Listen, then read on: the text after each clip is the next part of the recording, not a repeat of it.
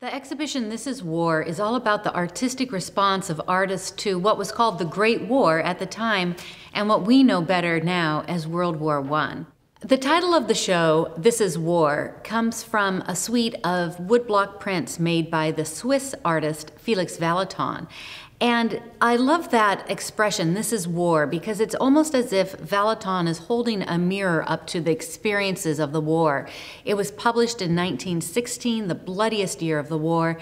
And I think, in a way, Vallotton is inviting us to be witnesses.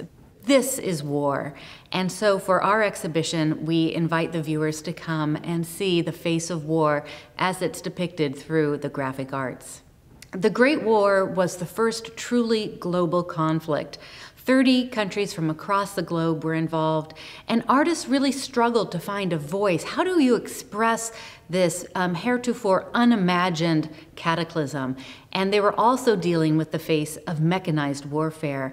So there were so many new things about this war that it presented all sorts of challenges for artists, and I think that makes it really exciting from a visual point of view.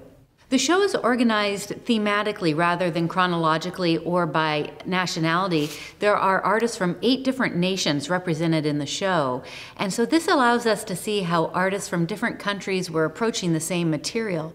So we look at themes such as the battlefield, trench warfare, propaganda posters, the role of women, and um, the recurrent use of a Totentanz, or dance of death, which was a way to personify this omnipotent death presence across the battlefield. I think visitors will be surprised by how beautiful the show is. You know, war is not glamorous, it shows some really ugly realities, but some of these prints are just astoundingly beautiful. And uh, there's a great deal of humor in some of them as well. Uh, from a technical point of view, they're just beautifully made. So I hope visitors will uh, warm to that. I also think that there will be a lot of surprises of artists they don't know. Uh, I'm showing some of the, the best known artists of the 20th century beside artists that very few print curators have heard of. And so for me, that's a really exciting moment and a chance to explore the, the graphic impulse during the Great War.